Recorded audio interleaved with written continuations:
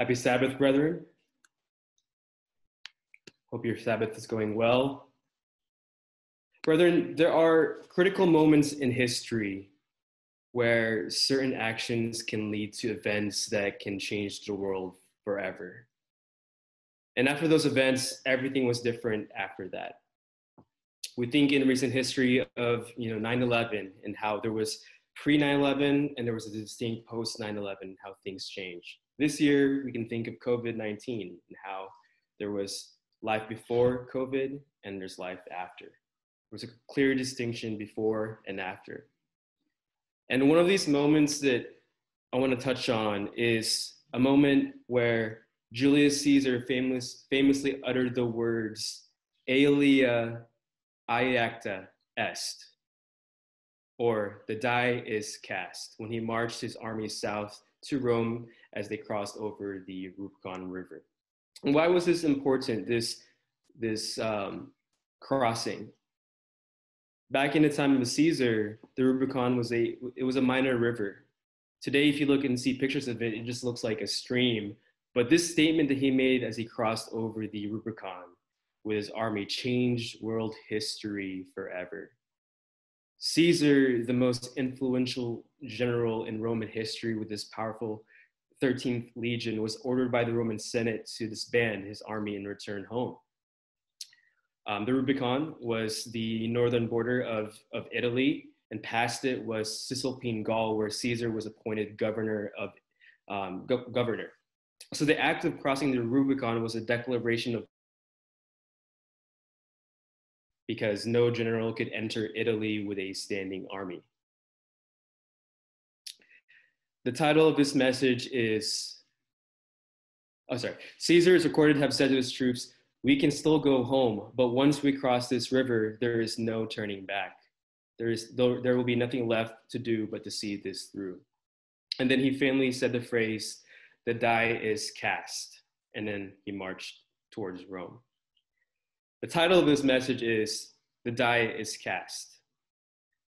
Now, this phrase come, has come to mean, you know, both a sense of inevitability and a sense of the unknown and uncertainty. You know, the moment the dice is in the air, there's no stopping it. And you don't know how it's going to land. Again, inevitably, ine- inevitability and the unknown, element of success or failure. In the case of Caesar in the 13th Legion, it, for them it was literally do or die. Our journey through this life as Christians can be can be similar. We have Rubicons in our lives that we have to cross. As we make the commitment at baptism, there was a clear before and there was a clear after we go through that crossing. And we can't turn our back, we can't go halfway. And we may not know what will happen along the way, whether it's failures or success, but we have to see it through because victory is the only option. When we answer the call of Christ to follow him, it sets a chain of events of it towards a completely different life. But there's a cost to the discipleship, and the cost is our own, our old former lives.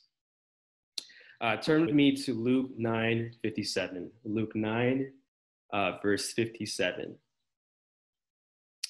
Now it happened as they journeyed on the road someone said to him, Lord, I will follow you wherever you go. And Jesus responded, responded and said to him, Foxes have holes, and birds of the air have nests, but the Son of Man has nowhere to lay his head. As Christians, we don't really have a place to lay our head. We don't really have a home in this world. We're not supposed to fit in and belong like everyone else. In fact, we're supposed to be strangers leading a life towards a different goal sojourners, people wandering in the wilderness. Just like Christ had no place to lay his head, same with us. We are pilgrims in search of our home. And we're not supposed to look like foxes. We're not supposed to look like birds. We're not supposed to look like everyone else. We're supposed to look like Christ. Verse 59 Then he said to another, Follow me. Then he said, Lord, let me first go bury my father. And Jesus said to him, let the, bury, let the dead bury their own dead, but you can go and preach the kingdom of God. this wasn't just someone's father who had just died. Uh, you know, otherwise there would be mourning. Um, back in that culture and back in during those times, when somebody died, they would have taken care. They would have buried them that same day. No, this was somebody saying that let me finish this first. Let me finish um, this before following you. But this, we know there's no perfect timing of when we'll get the call of God, the call to to life sometimes you hear people say, you know, I'll follow God when I settle down, or I'll follow God after I graduate school, or I'll follow God after this and this. But God asks us to leave our former dead self behind and follow Him. Even if the timing, the timing doesn't seem like it seems perfect, He says, go preach the kingdom of God. And also another said, Lord, I will follow you, but let me first go and bid them farewell who are at my house. But Jesus said to him, knowing having having no one having put his hand to the plow and looking back is fit for the kingdom of God. But then there's no there's no looking back here. When we make the choice to follow him, again the die has been cast. There's no going back to the former life once we cross that threshold.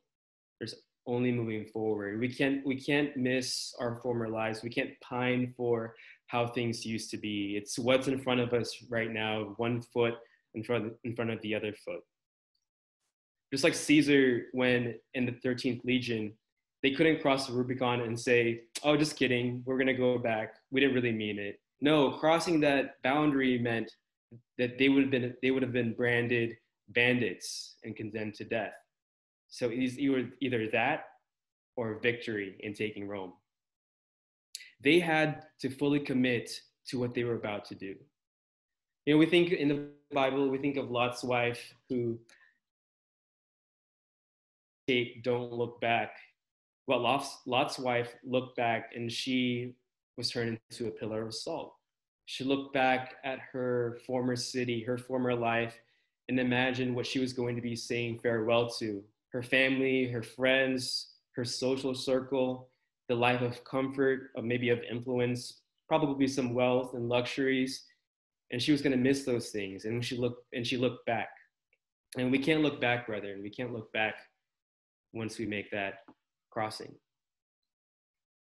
And that's what it takes, brethren. At baptism, all of us who are baptized, we all had to make that difficult choice, that, that choice, and sometimes, and keep making that choice if this is what we really want to do or not. But that's just the beginning. In the beginning, we're excited, we're convicted. You know, some of us gave jobs, gave up jobs. Some of us um, gave up jobs because of the feast. Some of us probably annoyed some family members about not keeping Christmas or eating pork. Uh, you know, we had so much excitement and conviction and optimism. I remember when I got baptized in, um, it was December 13th, 2013. weirdly enough, it was Friday the 13th. The good thing we're not superstitious. I remember how excited I was, how optimistic I felt embarking on a, a new life, a new journey. Um, it was in Cincinnati, Ohio, surrounded by my classmates at ABC. It was in a warehouse, in a horse trough. Um, in fact, Kaylee Toms was there and she took the video uh, of my baptism because my dad couldn't make it. And so she took the video for him. Thank you, Kaylee. Um, but that was just the beginning. And it was unforgettable, but it was just the beginning of the journey. It was just barely setting out on the journey. And we know life isn't always easy. There can be many struggles, trials, disappointments, and setbacks. Um, turn with me to Hebrews 10:32. Hebrews 10:32. But recall the former days in which, after you were illuminated, you endured a great struggle with suffering jumping down. For you had compassion on me in my chains and joyfully accepted the plundering of your goods, knowing that you have a better and enduring possession for yourselves in heaven. Therefore, do not cast away your confidence, which has a great reward. He's saying here, don't, don't lose sight on the path. Don't grow weary in doing good. Don't lose confidence in the path that you are on. Keep going. It says here, verse 36 For you have need of endurance so that you have done the will of God. So after you have done the will of God, you may receive the promise. Brethren, we need endurance. it's one thing to set set on the path towards the kingdom of God, but it's another thing to have endurance, to keep going, to see it through. And some of us didn't expect the journey to take this long. I'm sure a lot of a lot of you in the old worldwide days thought that Christ was coming in the 70s. And there was a lot of excitement. And when he didn't come, there was, you know, the people may have fallen away or gotten discouraged. But Christ asked us, verse 37, for yet a little while, and he who is coming will come and not tarry. tarry. Now the, now the just shall live by faith. But if anyone draws back, my soul has no pleasure in him. Brethren, we have to see it through. We can't be like Lot's wife who looked back at what she was going to miss in her former life. God wants us to keep our eyes fixed forward to the next bend of the road and to the end goal. When we talk about the Rubicon, something interesting that I recently learned was Rubicon, actually, if you break down the, the etymology of Rubicon, the river, um, it comes from the word, the, the root word rubeus, rubeus. And, you know, any guesses on what rubeus meant? It meant red, um, ruddy from the iron deposits in its riverbanks. It even sounds like the word ruby. The Israelites crossed their, so to speak, red, you know, body of water, the, the, the Yam Suf or the Red Sea when they left Egypt in Exodus 14. This was their type of, of Rubicon. And we know the story of the dramatic and miraculous crossing of the Red Sea. We can imagine it in our minds. We can picture the drama as they were trapped from all directions, the Egyptians pinning them down, and the only way out was to go into the sea. And having that miracle of the Red Sea being opened up and the water stopped and them crossing through, and the Egyptians being uh, drowned afterwards. And right after that, there was celebration, there was song, God has done. But not too long after that, when they went to the wilderness, we get to Exodus 16.1. And in Exodus 16.1, um, the children of Israel, they journeyed from Elim, and the congregation of the children of Israel came to the wilderness of Sin, which is between Elim and Sinai on the 15th of the second month, 15th day of the second month after they had departed from Egypt. So it's on the 15th day of the second month, not very long after. And in verse 2, it says, Then the whole congregation of the children of Israel complained against Moses in the wilderness. And the children of Israel said to them, Oh, that we had died by the hand of the Lord in the land of Egypt, when we had sat by the pots of meat and when we ate the bread to the full. For you have brought us out, out into the wilderness to kill us, this whole assembly with hunger.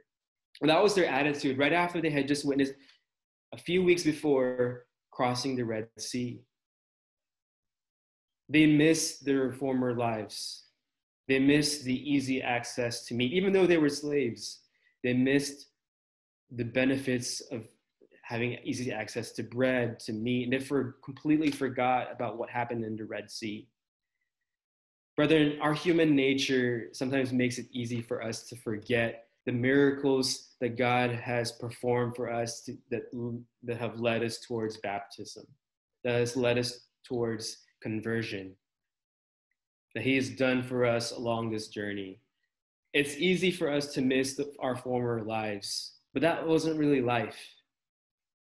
When we cross that Rubicon, we have to keep moving forward. We have to leave Egypt behind. We can't take it with us. When I first started my job um, at Nike uh, two years and three months ago, yesterday, um, they moved me from Oklahoma to California. And one of the first things I did was purchase the book um, Shoe Dog. Shoe Dog. And the, the Shoe Dog uh, is a memoir um, written by the founder of Nike, Phil Knight.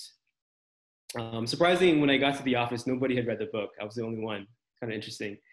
And in the first four gra- paragraphs of the book, he talks about his birthplace and home, uh, Portland, Oregon. And Phil Knight writes, I think it's the fourth paragraph, first page, if we Oregonians were famous for anything, It was an old, old trail we'd blaze, we had to blaze to get here. He said, the best teacher I ever had, one of the finest men I ever knew, spoke of that trail often. It's our birthright, he'd growl, our character, our fate, our DNA. The cowards never started, he'd tell me, and the weak died along the way. That leaves us. Us. Some rare strain of pioneer spirit was discovered along that trail. My teacher believed that some outsized sense of possibility mixed with diminished capacity for pessimism, and it was our job as Oregonians to keep that strain alive. First of all, that, what a great beginning of a book, what a great introduction to a book. Um, very captivating. And it, this led me to do some research on the Oregon Trail. And I actually recently heard a sermon by Gary Petty that, that connects really well to this called The Magnificent Recession. I recommend that sermon.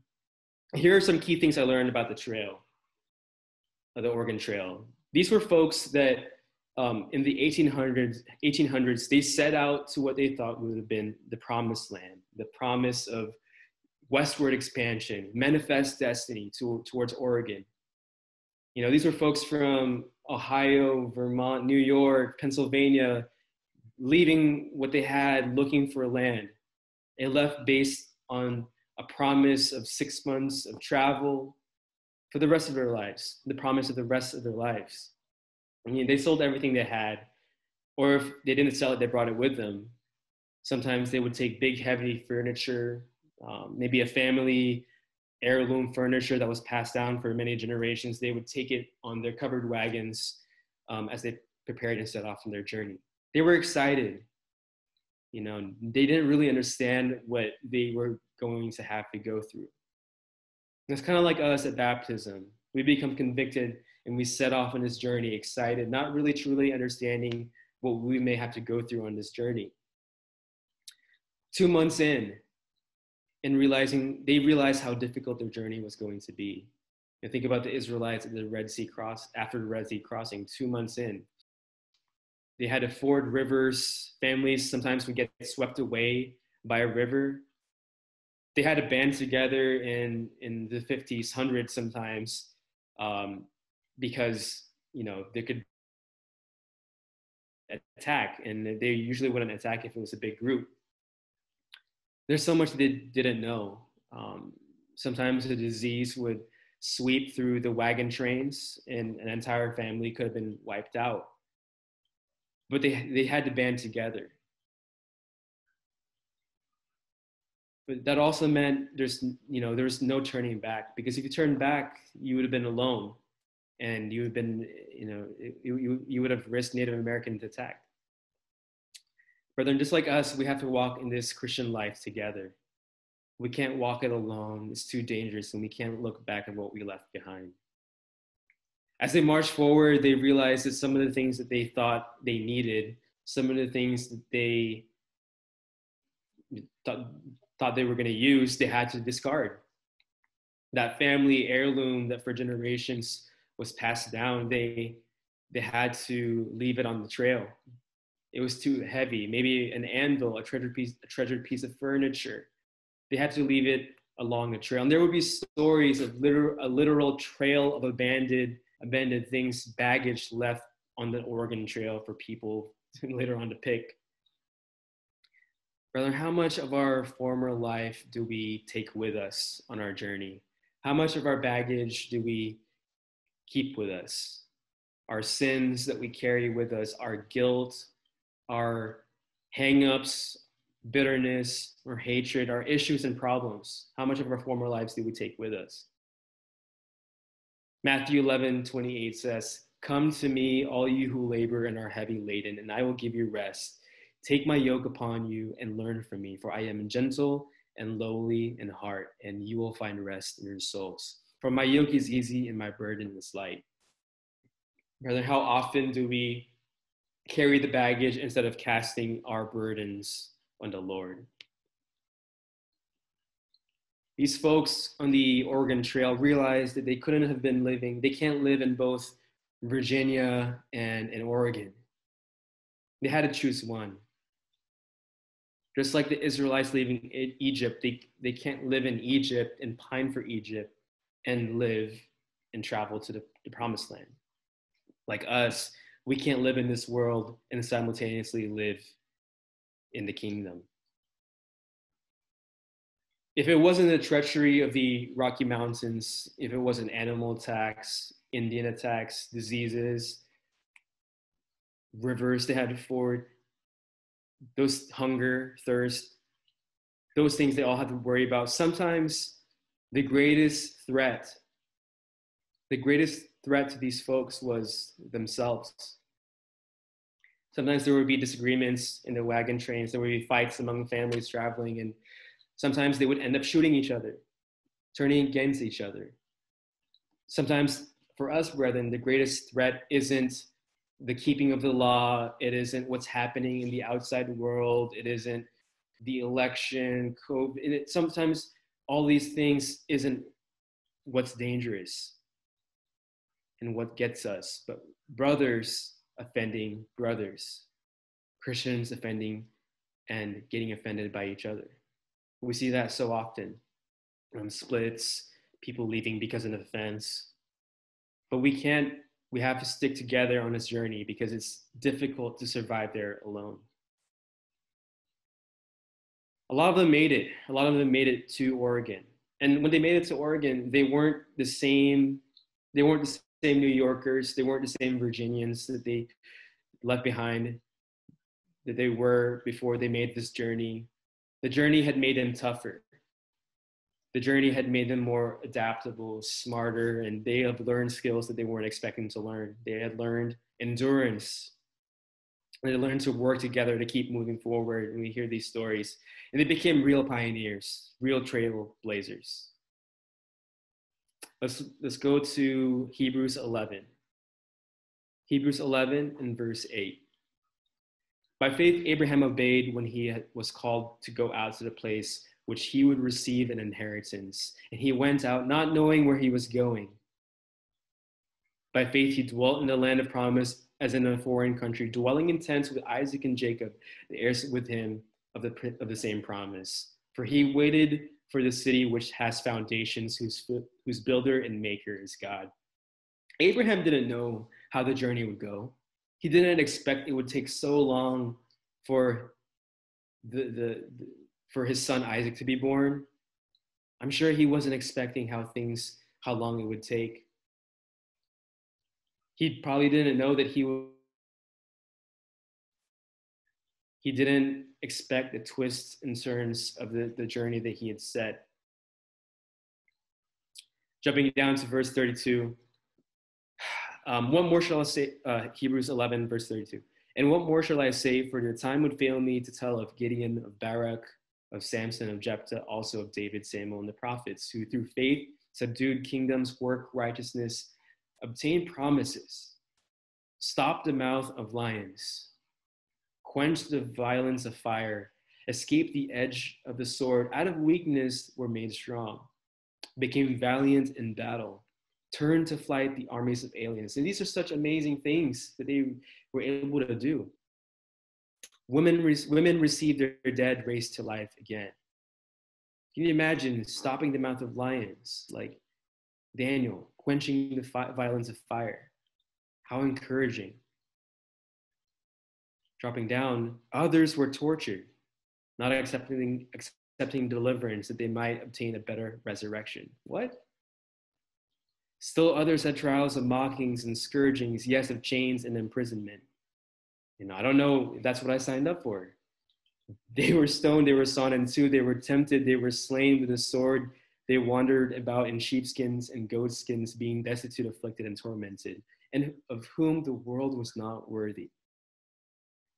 They wandered in the deserts and mountains and dens and caves of the earth when we when that die is cast, brethren, we don't know if our lives are going to be like what we see here in verse 33 to 35, or if it's going to be 36 uh, verses 36 to 38. But we, what we do know, if we keep reading on and encouraging, news is that, and all these, having obtained a good testimony through faith, did not receive the promise, God having provided something better for us, that they should not be made perfect apart from us. The journey is not over yet. The journey is not complete yet. They're still waiting on us here. They're still living. Chapter 12 Therefore, we also, since we are surrounded by so great a cloud of witnesses, let us lay aside every weight, every weight, brethren, just like all the weight, the sins, the, the heavy burdens that we carry with us in our lives, just like on the Oregon Trail, setting aside every weight, moving forward, and the sin which so easily ensnares us. And let us run with endurance, run with endurance the race that is set before us looking unto Jesus, the author and finisher of our faith, who for the joy that was set before him endured the cross, despised the shame, and sat down at the right hand of God. He started us on his journey when he called us, when he said to us, Follow me, when he called out to you and said, Follow me. And Christ will finish the journey with us, and he will complete the journey and complete our faith. And he promises victory. No matter what happens in between, in between from the spectrum of what we see here in, in, in Hebrews 11:32, of all these amazing things happening and all the things that the, the, the Christians had to go through, torture, wandering, quenching the violence of fires, stopping the mouths of lions, whatever it is, Christ promises that we will have victory. We don't know what happened, what will happen in our, in our lives when we set off on this journey, when we we don't expect the trials that we will face, getting sick, what's happening in the world today, people we may have to bury, the things that we need to give up, the hard choices, the successes, the failures, the lessons learned. We leave it to God because God knows how the dice will fall. Proverbs 16:33 says, "The lot is cast, but every decision is from God." Brethren, as people of faith, there's no turning back. We've crossed the Rubicon, and the only thing left to do is to see it through. The trail may be uncertain, it may be difficult, it may be rocky, but God knows the outcome, and He knows how the die will land. The victory is guaranteed, brethren. We give up everything to gain everything. Alea iacta est, the die is cast.